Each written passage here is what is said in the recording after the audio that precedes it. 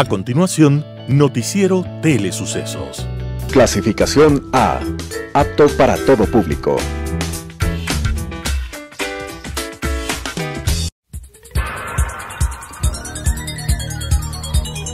Las opiniones vertidas en este espacio por la producción y dirección del programa son de exclusiva responsabilidad de sus autores y de quienes intervienen en ellos.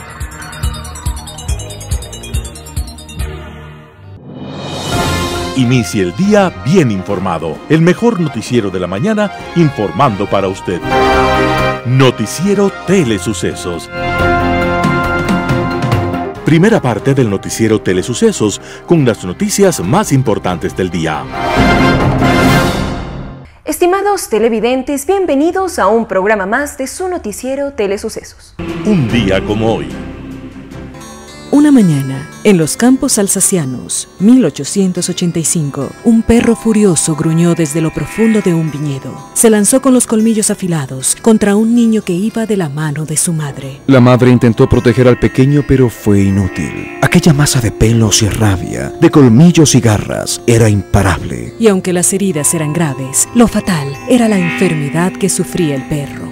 Rabia. Aquello significaba una condena a muerte para el niño, en una época en la cual no existía ningún remedio. El niño era Joseph Meister y estaba condenado a muerte como miles de personas en Europa, porque no había remedio contra la rabia. Cuando el virus atacaba, empezaban convulsiones, alucinaciones, luego el delirio, la hidrofobia, horror al agua y la muerte en menos de cuatro días. La madre del niño entonces viajó a París para buscar ayuda de Louis Pasteur, químico y microbiólogo que estaba investigando la vacuna contra la rabia. La única posibilidad de salvar al niño era probar en él la vacuna que hasta entonces no había sido probada en humanos. Pasteur inoculó en el niño tejidos del cerebro de un conejo muerto con rabia y durante una semana aplicó una dosis diaria. El niño se debatió entre la vida y la muerte y al final logró recuperarse en forma total.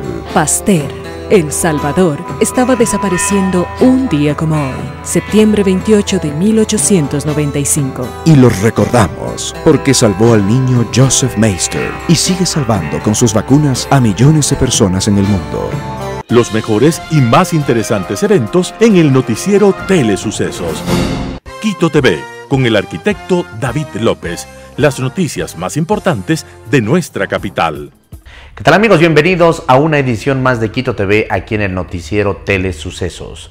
El presidente de la República, Lenin Moreno, vetó totalmente el Código Orgánico de la Salud. La mañana del pasado viernes 25 de septiembre, el presidente de la República, Lenin Moreno, vetó de manera total el Código Orgánico de la Salud, COS, código que había sido aprobado por la Asamblea Nacional el 25 de agosto pasado. En rueda de prensa, el ministro de Salud, Juan Carlos Ceballos, manifestó que el código debe ser ajustado a esta nueva realidad, en alusión a la pandemia por el COVID-19. Ceballos añadió, este código coloca en condición de imposibilidad la práctica médica, no solo que incluye eventos ya contemplados en el Código Orgánico Integral Penal, sino que crea 172 sanciones administrativas para los profesionales de la salud. El ministro señaló además que hubo serios reparos respecto a la implementación de un nuevo modelo de gestión que genera más interrogantes que certezas al duplicar funciones con la creación de instancias burocráticas como el Consejo Nacional de Salud. En la ley aprobada por la Asamblea Nacional existían artículos que podrían afectar la independencia del IE, señaló entre otras cosas el ministro Ceballos. El Código Orgánico de la Salud tardó alrededor de ocho años en ser aprobado. Con el veto total presidencial no podrá volver a ser tratado hasta dentro de un año. En otro orden de la información, arresto domiciliario para Karina Arteaga por presunto delito de concusión. El fiscal general subrogante Wilson Toainga presentó en audiencia realizada el viernes pasado 46 elementos de convicción que demostrarían que la legisladora Karina Arteaga solicitaba a sus colaboradores aportes económicos de sus sueldos en favor del movimiento país. En la audiencia, el juez a cargo de la causa determinó el arresto domiciliario con vigilancia policial para la asambleísta. El fiscal subrogante señaló que uno de los elementos probatorios por parte de la Fiscalía son depósitos en la cuenta del esposo del asambleísta por cerca de 30 mil dólares. Toaenga solicitó la prisión preventiva para la asambleísta, pero el juez determinó el arresto domiciliario, la prohibición de enajenar bienes, el bloqueo de cuentas bancarias y el uso del grillete electrónico. La defensa del asambleísta cuestionó los elementos presentados por la Fiscalía, ya que según ellos no son determinantes para la presunción del cometimiento de un delito. Jacobo Bucaram Puley fue detenido en Medellín. La noticia fue confirmada por su propio padre Abdalá Bucaram Ortiz, quien mencionó vía Twitter este viernes pasado que su hijo ha sido retenido. Alfredo Arboleda, abogado de Jacobo Bucaram, ratificó la noticia, anunciando que viajarían junto a otros abogados en vuelo privado hasta Medellín, lugar de su detención, para brindar el apoyo legal correspondiente. Sobre Bucaram y pesa una orden de prisión por la presunción de dos delitos, delincuencia organizada en la venta de insumos médicos y el tráfico de bienes patrimoniales. Previo a la detención efectivizada y confirmada este viernes 25 de septiembre, el jueves 24 Caracol Radio de Colombia había anunciado la detención de Jacobo Bucaram, noticia que fue desmentida en horas de la noche por parte del mismo Bucaram en un video publicado en su cuenta de Twitter. Al parecer, la difusión de este video reveló pistas sobre el sitio donde se encontraba Bucaram Puley para su posterior detención. Deportes en la mañana con Pablo Montenegro. Amigos de Telesucesos, Canal 29. Hablemos del Deportivo Cuenca. el Deportivo Cuenca realizó las elecciones de la nueva directiva. Es la cuarta mujer que actualmente va a estar presidiendo un equipo de fútbol. Recordemos que anteriormente ya fue electa el Olmedo, también en el Deportivo Quito, en el Nacional, y ahora es la arquitecta Natalie Villavicencio, una joven de 32 años que va a presidir al Deportivo Cuenca. La elección tuvo la presencia masiva de los socios. Es importante que haya este proceso democrático porque le da vida, le da, le da más institucionalidad a, a las entidades. Francisco Sánchez alcanzó 278 votos, Pedro Peña 218 y la ganadora 509 votos. Como ustedes ven, es amplia la victoria que alcanzó Natalie Villavicencio. El total de votos, 1008 y nulos 3. Hay que recalcar que Natalie Villavicencio tiene respaldo de la persona que va a ayudar en el financiamiento, que manifestó que va a entregar 4 millones de acuerdo a ciertos forma de egreso. Es el señor Gabriel eh, Castro, que está en los Estados Unidos de Norteamérica. Desde ya le deseamos suerte a Natalie Villavicencio y sobre todo al Deportivo Cuenca. Esa esa capital de la SUAY requiere un equipo, requiere un equipo que sea de enorme interés y sobre todo sea un verdadero eh, contendor en la Liga Pro. Deportivo Quito.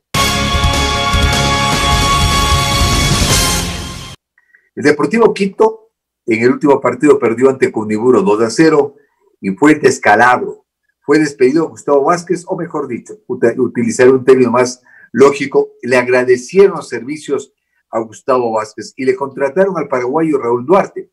¿Quién es Raúl Duarte? Quien le ascendió al eh, Deportivo Quevedo y a Fluminense y a la Fuerza Amarilla, perdón, de la segunda a la Serie B. Hay que expresar que Raúl Duarte es un entrenador paraguayo, debe cobrar plata, y un billetito más o menos apreciable. No sé cómo irá a ser Samantha Yepes en esta crisis que afronta el Deportivo Quito. El eh, Deportivo Quito, eh, yo he expresado mi, el criterio. El Deportivo Quito debe ser una institución en la que dos, tres, cuatro años forme jugadores eh, para proceder a vender vender jugadores en 300, en 400, en 800, en un millón, quién sabe. Y ese sea el mejor mecanismo para ir solventando las deudas, ir pagando eh, las deudas que el Deportivo Quito es muy, muy elevadas. Esperemos que hace Samantha Yepes en los próximos días y sobre todo el señor Raúl, eh, eh, Raúl eh, Duarte, el paraguayo, para ver qué dirige el Deportivo Quito. Copa Libertadores. Flamengo es el equipo noticia, no sé si solamente en Sudamérica o en el mundo. Tiene 26 contagiados. El Flamengo jugó ante el Independiente, jugó ante el Barcelona, el Independiente ya arroja un jugador con COVID y vamos a tener eh, una preocupación más grande. Se jugó este fin de semana el partido entre Independiente y Barcelona, dos equipos que yo denominé este partido como el clásico del coronavirus, porque han estado enfrentándose ante el equipo que más contagios ha tenido. Pero la Liga Pro ya conocen ustedes, la Liga Pro es una entidad que, primero el fútbol, el fútbol no se puede parar, como en el circo, el show debe continuar. El día miércoles 30, eh, Flamengo jugará con Liga Deportiva, perdón, con Independiente del Valle a las 19 horas 30 y Junior a las 19 horas 30 con Barcelona. Hay que ver qué sucede en estos enfrentamientos y ojalá que tengamos mucho cuidado con el COVID. Barcelona concentró a los jugadores, no les mandó a sus casas. Es que es muy delicado, esta es una enfermedad muy grave. Hay que tener el tapaboca, lavarnos las manos permanentemente, distanciamiento y evitar las aglomeraciones. Evitar las aglomeraciones. La noche del recuerdo. Y vamos a cumplir una semana de que Canal 29 con el arquitecto Fernando Najas, puso a consideración de ustedes la noche de los recuerdos. Estamos reviviendo lo que hicimos hace más de 10 años. Ah, en esa época estaba César Pardo, nuestro colega, compañero, exjugador del Deportivo Quito, que falleció tempranamente. Y hoy estamos nosotros con la Noche de los Recuerdos. Les invitamos que vean en Facebook Live y adicionalmente a través de Canal 29. Conmigo, hasta mañana. Que tengan un resto de día de manera extraordinaria. Freak.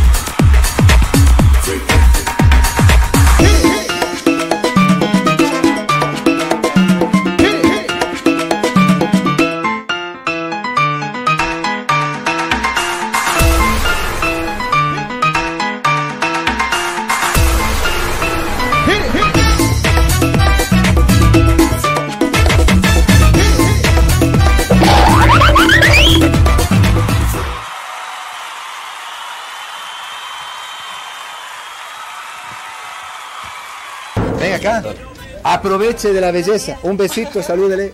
Sky. Yo tengo el gusto. Cris. Muy buenas. Buenos días, bienvenidos. Casado, viudo, divorciado. Casado. ¿Sí? ¿Estará viendo su señora el programa? Claro que sí. ¿Sí? Entonces, otro besito. y otro besito. Ahí está. Uy. El aplauso, hagan varios. Yo en mi época se hacía su rector, he dicho, ¡ah! Uh! Hoy avisamos de alguna cosa. A ver, ¿ah? ¿Qué dicen? Vamos. Eso. Muy bien. Hablemos de la unidad. usted me decía, extra cámaras, que esto es una unidad de colegios. Bueno, es una red educativa. Ya. Es un nuevo. ¿No está haciendo propaganda media camuflada cuando dice red educativa? No, no, no, no. Ah, ya. Es un nuevo proyecto del ministerio y, bueno, la finalidad es unir instituciones para la desconcentración y la descentralización de la educación. Acá en Carapungo está la red educativa Q5 y el plantel central es Elena Cortés Bedoya.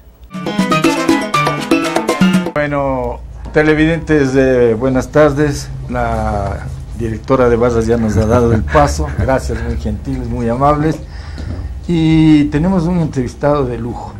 Y de lujo quiere decir que es de primera, no solo en el ambiente de fútbol, en el ambiente del comentario de fútbol, sino también inmerso en la política desde hace más de cinco años, ¿no? Y ponemos los dedos de la mano y tenemos que hablar de un Alberto Spencer, de un Polo Carrera, de un Alex Aguinaga, de un Edison Méndez y un hito que con el perdón de todos se me escape, tal vez por ahí, no sé cuál. ¿a cuál César Pardo. No, no, no, no, yo no, yo no tuve la dimensión de ellos, pero No, no, también ¿por nos qué? metimos. Polo, bienvenido. Gracias. Y ya sabe, para nosotros un gusto tener a una figura grande del fútbol eh, ecuatoriano y de paso eh, darle un, un- un viva, un vamos ahí, mi negro, eh, sigue adelante a nuestro Spencer Herrera. Claro, verdad, César, agradecerle por la oportunidad. Eh, Alberto está pasando un momento muy difícil. Eh, Creemos que con el apoyo, la ayuda de Dios, primeramente, eh, va a salir adelante. Es difícil, Alberto ha venido con estas dolencias desde muchos años, pero creemos que Dios le va a ayudar y le va a tener nuevamente con nosotros.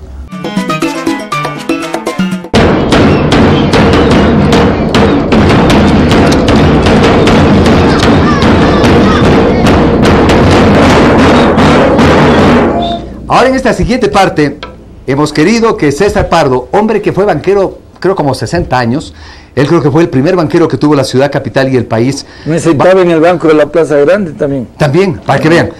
Va a conversar con Jorge eh, Chicango y Alex Fernández. Ellos van a hablar precisamente con el señor César Pardo, integrante del Deportivo Quito, un jugador de primera. Él dice eso, yo he visto la crónica. Aquí dijo Polo Casera clarito. ¿Cómo decir lo contrario? Clarito. ¿Cómo decir lo Cuando contrario? jugamos contra Peñarol, contra Stronges, Si necesita etcétera, el voto, ¿cómo decir lo contrario? No puede hacerse enemigos ahorita. Entonces, no, vot- ah, no sí voté. Entonces, a ver, eh, Jorge, tú vas a dialogar con César Pardo y luego Alex también va a dia- dialogar. Comienza el tiempo. Eh, hincha, ¿de qué equipo eres? Del Deportivo Quito. Gracias, campeón. Toma. No, las galletas. Deja, guagua, no quites la colación, toma. Ahí está. Es la colación. Aplausos. ¿ah? Ahora damos paso al set número uno para continuar con nuestro concurso de karaoke. Y vamos ahora con el karaoke. Yo tengo la suerte de trabajar en este programa con Sinatra, el Fran Sinatra de los pobres. Se llama el señor César Pardo. Quiero en primer lugar a todos ustedes que están acompañándonos el aplauso para el Sinatra de los pobres. Hacemos la distancia. Yo soy Fran Sinatra de los ricos. El de los pobres está allá porque ya está en el estuche. Punto. Pobrecito. Muy bien. Mañana por mí ha sido un gusto, sinceramente, haber estado con estos chicos de la escuela Unidad Educativa. No se escucha lo Elena Cortés Bedoya. Repitamos. Elena Cortés Bedoya. Y con-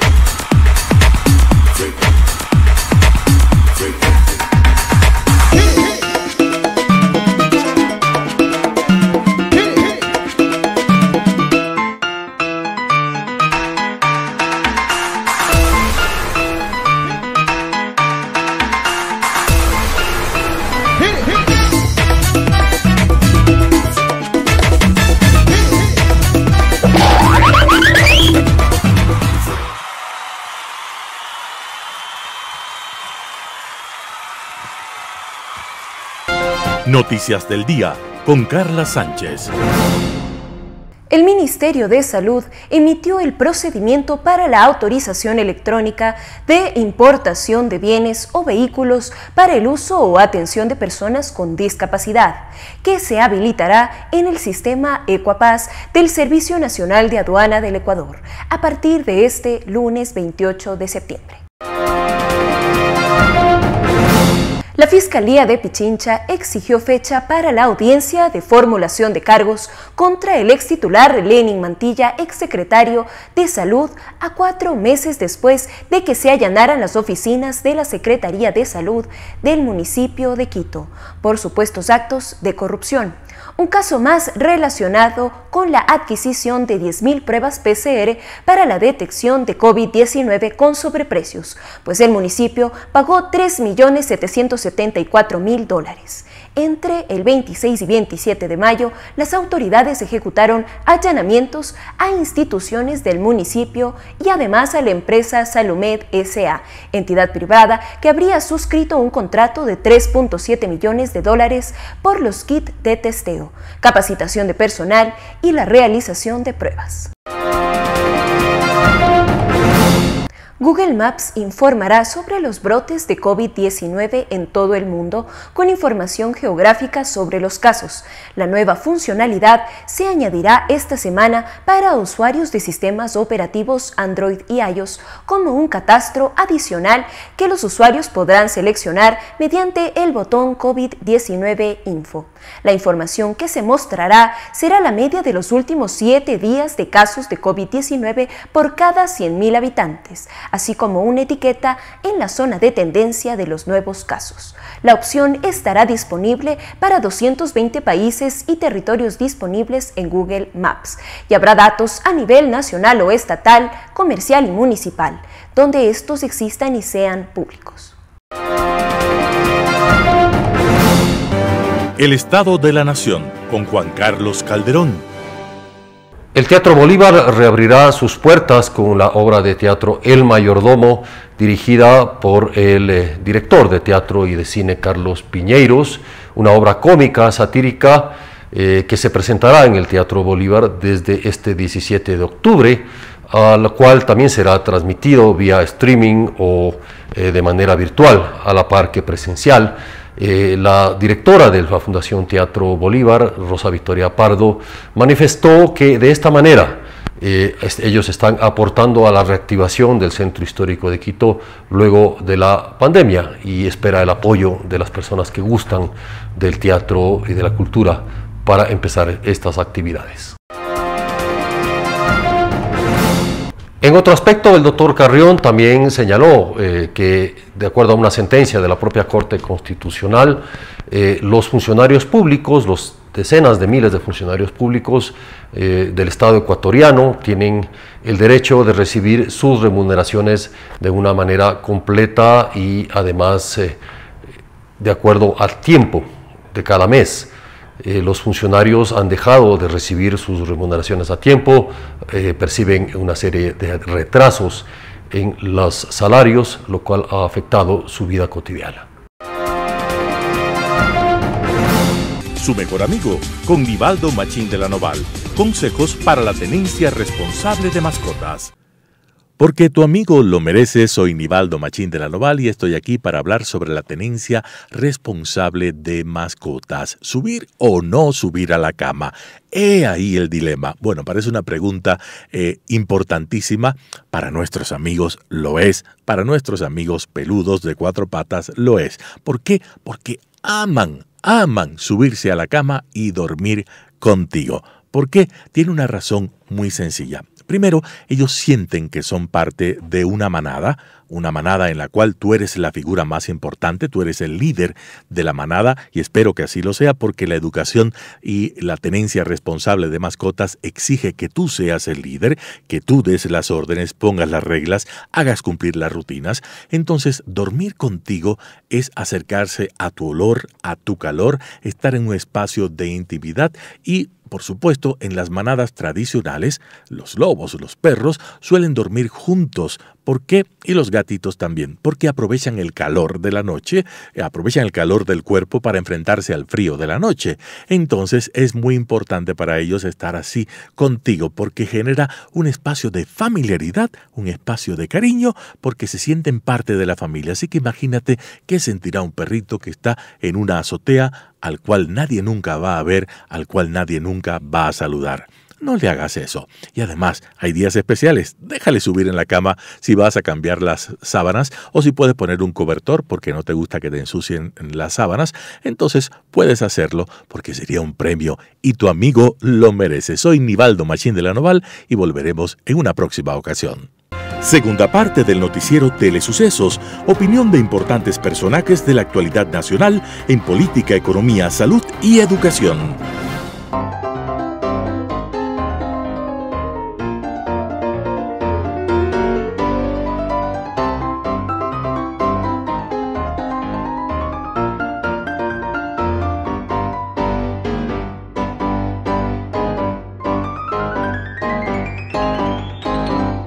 Los candidatos, personajes que intervendrán en el próximo evento electoral en febrero de 2021, con Meili Rosas. Hoy nos acompaña el precandidato a la vicepresidencia de la República por Alianza País, Patricio Barriga. ¿Cómo está Patricio? Bienvenido. Muchas gracias, Miley. Un abrazo muy fuerte a todos quienes eh, conforman el equipo de Telesucesos y, por supuesto, a través de esta señal a todo el pueblo ecuatoriano. Patricio, quisiera comenzar preguntándole por qué en medio de una eh, crisis económica y sanitaria usted desea asumir el reto de sacar adelante al país junto con la actual legisladora Jimena Peña. ¿Qué los motiva? Bueno, me parece que esto es un tema que nos afecta absolutamente a todos. Y como nos afecta a todos, todos debemos meter allí nuestros mayores esfuerzos, nuestra mayor energía para recuperar eh, una normalidad o una situación en la cual nosotros ahora mismo estamos atravesando con, eh, digamos, un escenario de catástrofe en lo económico y, por supuesto, agravado con el tema sanitario. Esta es una opción política que surge justamente para plantear soluciones a esos problemas eh, y que en ese camino nosotros esperamos que se unan o que se sumen todos los ecuatorianos, porque este, insisto, es un problema que nos afecta a todos y todos debemos arrimar el hombro para poder sacar al país adelante. Hablemos sobre su plan de gobierno. Recordemos que el artículo 149 de la Carta Magna señala que la vicepresidenta o vicepresidente de la República, cuando no reemplace a la presidenta o presidente de la República, ejercerá las funciones que esta o este le asigne. ¿Han conversado al respecto con Jimena Peña, su compañera de fórmula? Por supuesto, por supuesto. Y de hecho, eh, es creo que claro que eh, las organizaciones políticas y los partidos que están participando en estas eh, elecciones del 2021, para estas elecciones del 2021, pues se enfocarán evidentemente en los problemas más urgentes, que son los económicos, los sanitarios, y nosotros estamos incorporando justamente aquello y los de protección social, que son fundamentales.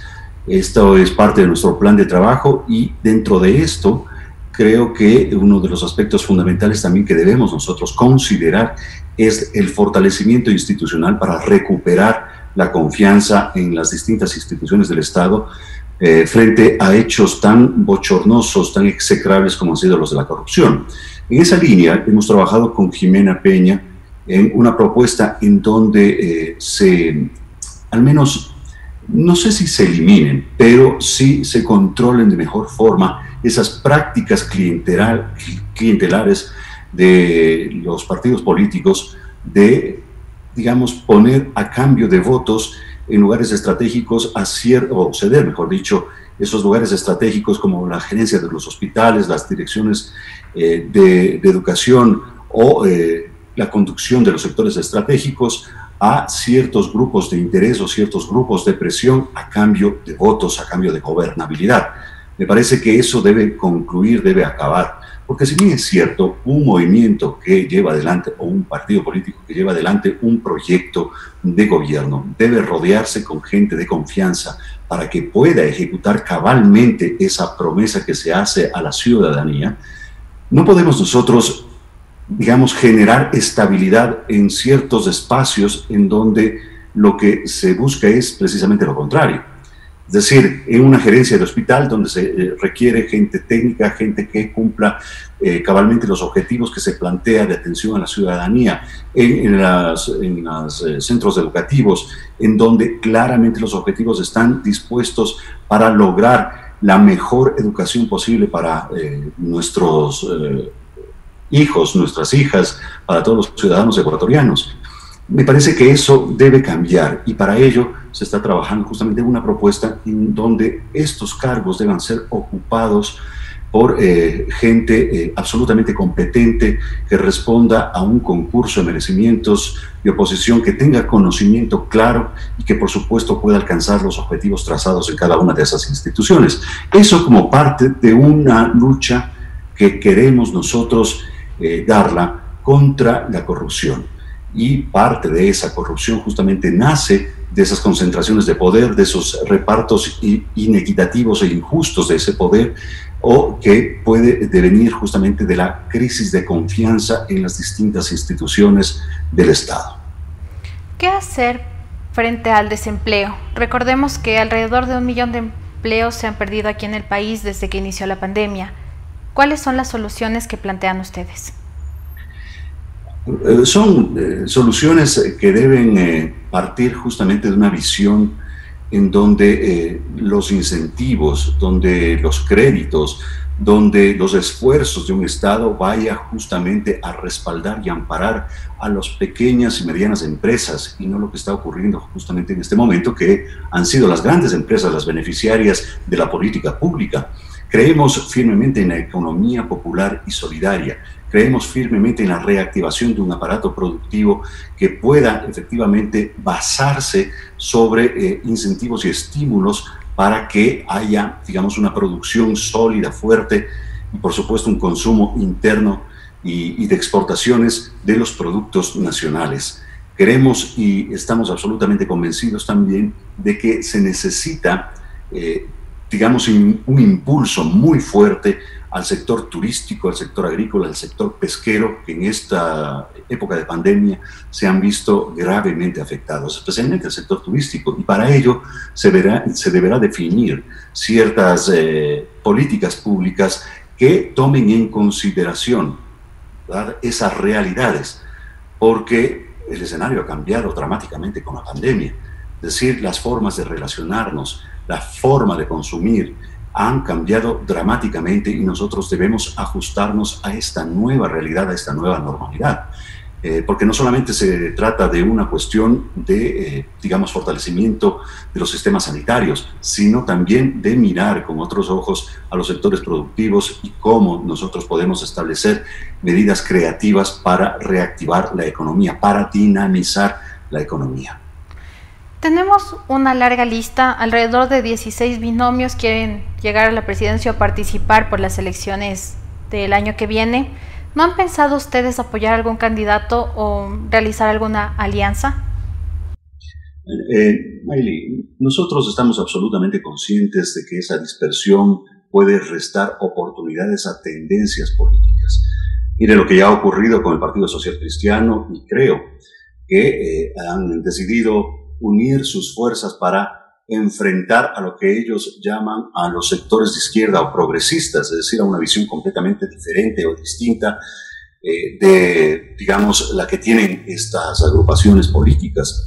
Y evidentemente en esa disputa hay que conversar, hay que establecer alianzas, hay que hacer renunciamientos, hay que eh, considerar de que eh, un movimiento, un partido político no tiene la verdad absoluta y me parece que en ese línea nosotros hemos estado completamente abiertos a ese tipo de discusiones, de apoyar o de sentirnos apoyados por aquellos movimientos o aquellas tendencias que partan del centro hacia la izquierda. En esa línea nada está dicho, nada está escrito en. Por supuesto que seguimos conversando, estamos abiertos también a, a algún tipo de coalición o de alianza que pueda surgir hasta, eh, digamos, las fechas límites que ha dispuesto el Consejo Nacional Electoral para la inscripción de candidaturas. Resumamos un poquito cuáles son las tres principales propuestas que desean ejecutar usted junto a Jimena Peña para las elecciones o para el próximo año. Evidentemente, la primera creo que es, eh, eh, digamos, no negociable, que es la de la recuperación económica y la recuperación del aparato productivo nacional. En ese sentido, eh, nosotros estamos recogiendo inclusive propuestas que nos han hecho llegar algunas instituciones como el Instituto de Investigaciones Económicas de la Universidad Central, de parte de la academia, de ciertos sectores eh, de vanguardia que están proponiendo algunas medidas para poder superar esta crisis de empleo, ¿verdad? Porque en este momento estamos hablando ya del deterioro de todos estos, de todos estos índices de desarrollo social, como es justamente el trabajo, como es el tema de la pobreza, los índices de desigualdad que se han visto crecientes en, esta última, en este último periodo, sobre la base justamente de decisiones con las cuales nosotros no estamos de acuerdo, con las cuales nosotros hemos sido absolutamente críticos, porque primero debemos nosotros poner los intereses de las grandes mayorías, los intereses del país, no solamente la de las grandes corporaciones, pero que son en definitiva unas pocas, una minoría que se están beneficiando. Hemos visto cómo, por ejemplo, el sector financiero ha sido uno de los grandes vencedores, que se quiere decir, en esta, en esta crisis, en donde han obtenido mayores oportunidades de crecimiento y de rentabilidad, y que deberían en esa línea ser al menos solidarios. Otro de los aspectos que debemos trabajar son los programas de protección social eh, y, por supuesto, todo lo que implica las inversiones en estos sectores, en el sector de la salud, en el sector de la educación, en el sector que tiene que ver ya con todos los programas eh, que tengan eh, relación justamente con apoyar a los pequeños, medianos productores, a las pequeñas y medianas empresas a través justamente de créditos que sean menos onerosos como los que están ocurriendo ahora mismo. Y que de paso nosotros estamos con profunda preocupación mirando cómo hay estas resoluciones de la Junta de Regulación Monetaria y Financiera para liberar por las tasas cómo es que estas decisiones de política pública última que tienen que ver con las concesiones eh, que a nuestro parecer son formas extremísticas de de privatización han eh, ocasionado que empiece ya a liberarse el precio de los combustibles. Que en principio nosotros eh, no somos absolutamente radicales en decir que todo subsidio es bueno o todo subsidio es malo. No estamos ni demonizando ni satanizando esos subsidios, pero sí me parece que hay que llegar a acuerdos y análisis mucho más exhaustivos para poder llegar a quienes lo necesitan. En este momento el país está sufriendo justamente un crecimiento de esas brechas entre los eh, que más tienen con los que menos tienen. Y esto está ocasionando justamente una crisis de grandes magnitudes, no solamente en económico, sino también social. Y la otra pregunta, evidentemente, será el fortalecimiento institucional, la generación de confianza, la seguridad jurídica, lo que permitirá, digamos, tener un círculo virtuoso, no solamente de inversiones que pueden llegar al país o las inversiones que dentro del país todavía no se las hace en el sector privado, pero que requieren justamente de eh, medidas claras, de una eh, situación jurídica absolutamente transparente, clara, sólida, que eh, puede crear, digamos, un ambiente mucho más favorable justamente para esas inversiones y para todo lo que. Se les viene un reto bastante complicado. Este es que los ecuatorianos recuperen la confianza en el movimiento Alianza País, que, recordemos, ha sido bastante cuestionado en los últimos años. ¿Qué hacer para recuperar esa confianza que pende de un hilo? Es que no es solamente Alianza País, ha sido todos los movimientos y partidos políticos, y no solamente sido Ecuador, ha sido en el mundo entero. Y esto nace justamente esta desconfianza o esta desafección política en lo que hemos venido señalando, en la incapacidad de sintonizar, por parte de los políticos, de sintonizar los problemas de la gente, de actuar en favor de la gente, de cumplir, de honrar la palabra eh, que uno la, pone, de los compromisos que uno expone precisamente en estos tiempos de campaña. Es decir, eh, creo que esa desconexión de los partidos y movimientos políticos con la gente ha ocasionado justamente estos niveles de desconfianza, sumados a otros aspectos como la crisis institucional, la concentración de poderes, los liderazgos este, poco democráticos que pueden haber incidido también en esa desconfianza. En lo que a ese país respecta, pues nosotros estamos absolutamente conscientes de que son momentos difíciles, pero aquí estamos eh, para poner la cara. Aquí estamos y no nos hemos ido, ni hemos cambiado de camiseta, quienes estamos absolutamente convencidos de un proyecto político y que queremos reconstituir esa fortaleza de ese proyecto político, porque eh, Alianza País, como ningún partido político, debe basar su estabilidad o su permanencia simple y sencillamente en los liderazgos personales, en, eh, digamos, los liderazgos que pueden, eh, digamos, ser simplemente transitorios en la vida política de esta organización. Si es que está Lenín Moreno, si es que está Rafael Correo, si es que está quien quiera otra persona, no puede basarse justamente esa estabilidad y esa permanencia de esta organización política en cómo se conduzca o cómo se gestione o cómo se maneje a, partir de, esos, de, esas, de esas dirigencias, de esos liderazgos. Entonces, ¿qué estamos nosotros haciendo? Recuperando los principios y valores que nos animaron a formar Alianza País en sus orígenes. Estos principios basados justamente en la búsqueda de la justicia social, principios basados en la ética de los cambios que deben producirse dentro de una sociedad, porque ninguna revolución puede llamarse revolución si no hay ética de por medio, de que debe primar los intereses superiores del país y no precisamente los de una organización o los de un grupo muy pequeño que puede formar esa organización. Y estamos hablando con la verdad, de, manera directa, de manera frontal, reconociendo cuáles son nuestros errores, pero también cuáles son nuestros aciertos, reconociendo que pudimos habernos equivocado y que en, esa, en ese sentido tenemos que inventar, tenemos que corregir esas deficiencias, tenemos que corregir esos problemas. Y eso implica justamente recuperar la capacidad de la crítica y de la autocrítica, de recuperar la democracia y sus herramientas al interior de esta organización y, por supuesto, recuperar al país también eh, estas, eh, estas herramientas democráticas que son fundamentales para fortalecer este sistema. Este sistema que debe basarse justamente en el diálogo, en, eh, digamos, acuerdos mínimos, en la unidad para resolver los problemas, no importa desde qué vertiente pueden llegar a plantearse esa solución. Finalmente, ¿cuándo van a inscribirse ustedes al CNE para oficializar su candidatura?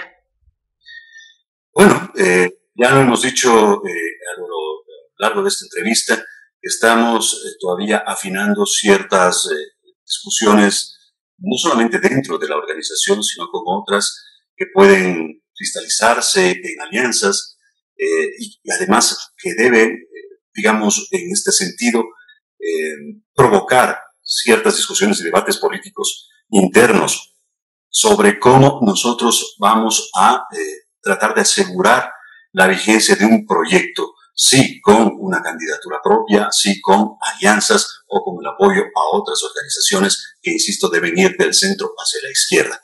Entonces, en ese sentido, tenemos eh, todavía el tiempo. Recuerde que el Consejo Nacional Electoral da un plazo hasta el 7 de octubre para la inscripción de las candidaturas y en ese interín nosotros estamos justamente en esta jornada de diálogos. Muchísimas gracias, Patricio Barriga, precandidato a la vicepresidencia de la República por el movimiento Alianza País, por haber accedido a esta entrevista y comentarnos todos los detalles respecto a su precandidatura en binomio con Jimena Peña. Muchas gracias. Regresamos el día de mañana con otro candidato a la presidencia o vicepresidencia de la República. Quédese con nosotros, Canal 29. Global Hoy con Alan Carden. Este fin de año va a asistir en América Latina a dos eventos electorales que van a tener una gran significación uno de ellos y ninguna el otro. El caso de la elección en Bolivia para presidente de la República el próximo mes de octubre, justo al año de las fallidas elecciones anteriores en las cuales el fraude electoral que protagonizó el gobierno y el presidente Morales fue el origen de una gran cantidad de protestas, de una movilización popular muy importante que determinó eh, el fin del gobierno de Morales y su paso al costado luego de que las Fuerzas Armadas así se lo pidieran ante la inminencia de enfrentamientos que hubieran sido muy de lamentar en, eh, eh, en, Bolivia. El gobierno de transición ha convocado a las elecciones, de hecho las convocó para el mes de mayo pasado, pero la pandemia ha determinado que se las postergara y se van a celebrar el próximo mes de octubre. Al momento, la fragmentación política del centro derecha eh, está permitiendo que el primer lugar en las encuestas lo ocupe eh, el candidato propuesto por el movimiento al socialismo del presidente Morales, del expresidente Morales, eh, que es el señor Jara, anterior ministro de Economía de Bolivia y al que se le atribuyen muchos de los éxitos económicos iniciales del régimen boliviano. Eh, en segundo lugar, se sitúa al momento eh, el ex eh, el expresidente Mesa, quien aglutina las preferencias de alrededor del 20% del electorado al momento contra el 25% de Jara. El resto del, eh, del, centro derecha está fragmentado entre diversos candidatos y lo probable es que, como no va a haber un ganador en primera vuelta, mucho de ese voto se aglutine en torno a Mesa para la segunda vuelta y tenga una buena opción para ganar la presidencia. ¿Qué pasará, sin embargo, en el Parlamento? Es una incógnita, pues la fragmentación favorece al MAS y en esa medida es probable que emerja como primera fuerza parlamentaria luego de las elecciones de octubre. En Venezuela, que es el otro país donde vamos a tener eh, elecciones, estas no van a tener ningún significado y no van a tener ningún significado por la absoluta ilegitimidad de quien las convoca. La dictadura venezolana no es reconocida como gobierno por más de 50 países del mundo. Y por lo tanto, la legitimidad indispensable para proponer y para dirigir un proceso electoral no existe. Los antecedentes eh, antidemocráticos evidentes de la dictadura venezolana van a impedir que cualquier eh, eh, credibilidad exista respecto de una elemental, llamémosle así, claridad y limpieza en el proceso electoral. El socialismo del siglo XXI hizo suya una frase memorable del sociópata, y criminal eh, José Stalin, que pese a estos defectos tonto no era, eh, que dijo respecto de las elecciones que en estas no importa quién vota, lo que importa es quién cuenta los votos. Y los socialismos del siglo XXI, las diversas franquicias que han ejercido el poder en el continente, han adoptado entusiastamente este concepto del dictador, eh, del dictador soviético y se han apoderado sistemáticamente de los sistemas electorales, de los organismos electorales de los países porque saben que ahí justamente radica el poder final si es que uno está dispuesto al fraude, a la alteración burda o no tanto de la voluntad popular. En esa medida, el eh, proceso que se avecina en Venezuela bajo la conducción de la dictadura simplemente no es creíble. Es un sainete al que cualquier demócrata que así se precie de serlo debe simplemente ignorar por cuanto no puede ser aceptado el resultado que obviamente ha sido amañado de antemano. Se ha prohibido a los partidos políticos, se ha alterado a los, eh, a, los organismos internos de los partidos de la oposición, se ha encarcelado a la oposición y finalmente se ha expulsado del país a más de 5 millones de personas a través del mecanismo del hambre y del terror. En esa medida, creer que eh, Venezuela va a poder tener una elección creíble y respetable simplemente es engañar. Muchas gracias. Noticias del día con Carla Sánchez. Los derechos humanos son para los humanos derechos. Hace poco, las madres de pandilleros encarcelados realizaron una manifestación exigiendo los derechos de sus hijos. Acá está la respuesta de una madre ciudadana hacia la madre que protestaba. De madre a madre. Pitu energética protesta delante de las cámaras de TV en la reciente manifestación en favor de la reagrupación de los presos y su transferencia a cárceles cercanas a sus familiares y con mejores prestaciones. Vi cómo te quejabas de la distancia que te separaba de tu hijo y de lo que supone económicamente para ti ir a visitarlo como consecuencia de esa distancia. Vi también toda la cobertura mediática que dedicaron a dicha manifestación así como el soporte que tuviste de otras madres en la misma situación y de otras personas que querían ser solidarias contigo, y que contabas con el apoyo de algunas organizaciones y sindicatos populistas, comisiones pastorales, organismos, órganos y entidades en defensa de los derechos humanos, ONGs, etcétera, etcétera. Yo también soy madre y puedo comprender tu protesta e indignación. Enorme es la distancia que me separa a mí de mi hijo. Trabajando mucho y ganando poco, idénticas son las dificultades y los gastos que tengo para visitarlo. Con mucho sacrificio, solo puedo visitarlo los domingos, porque trabajo incluso los sábados para el sustento y educación del resto de la familia. Felizmente, también cuento con el apoyo de mis amigos, familia, etc. Si aún no me reconoces, yo soy la madre de aquel joven que se dirigía al trabajo, con cuyo salario me ayudaba a criar y mandar a la escuela a sus hermanos menores, y que fue asaltado y herido mortalmente a balazos disparados por tu hijo. En la próxima visita, cuando tú estés abrazando y besando a tu hijo en la cárcel, yo estaré visitando al mío y depositándole unas flores en su tumba, en el cementerio. Ah, se me olvidaba ganando poco y sosteniendo la economía de mi casa, a través de los impuestos que pago, tu hijo seguirá durmiendo en un colchón y comiendo todos los días. O dicho de otro modo, seguiré sosteniendo a tu hijo malhechor. Ni a mi casa, ni en el cementerio, vino nunca ningún representante de estas entidades, ONGs, que tan solidarias son contigo, para darme apoyo, ni dedicarme unas palabras de aliento. El municipio de Quito ha lanzado su plan de restricción vehicular Hoy Circula, que permite la movilidad por días y meses específicos. Recuerde que los meses impares son enero, marzo, mayo, julio, septiembre y noviembre. Y hoy lunes circulan los vehículos terminados en placa impar 1, 3, 5, 7 y 9.